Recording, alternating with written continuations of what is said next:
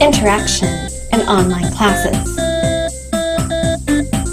Instructor posts content. Students access content and respond. Maybe with an assignment sent to the instructor. Linear, a clear pathway. Instructor, content, student.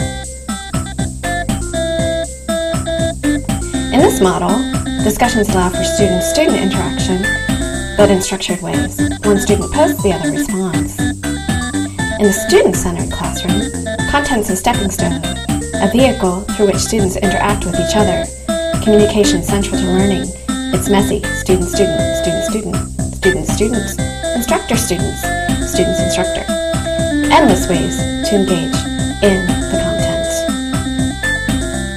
Where is the instructor in all this? On the sidelines? Kicking back and letting the students do all the work?